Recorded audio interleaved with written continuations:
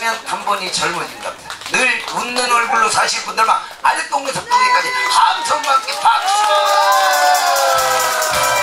열어 열어 셋이 박수! 잘 부를까요? 웃자 박수 내서 치시고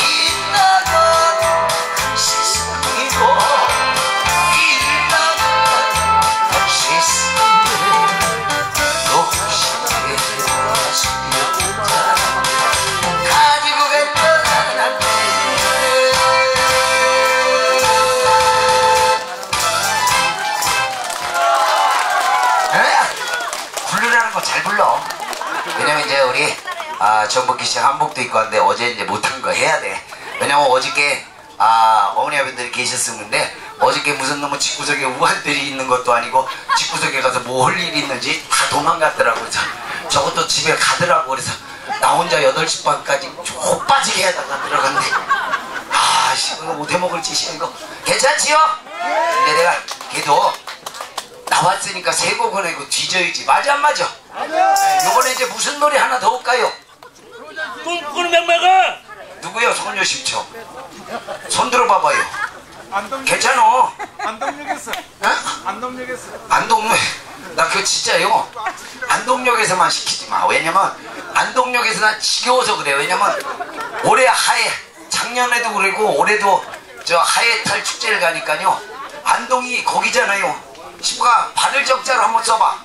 몇 번 부르나 나만 나가면 안동역에서 안동역에서 안동역에서 안동역에서 안동- 여든 여섯 번 불러본 기록이 있습니다 걔도 시켰으니까 해야지. 박수 한번 주세요. 소녀 심청 누구냐니까요? 손 좀 들어봐봐. 손못 드는 거 보니까 예매다고 피대기가 있는 건지. 내가 안동역하고 소녀 심청을 내 손 들만 부르고 그렇지는 안 부른다. 차렷하고.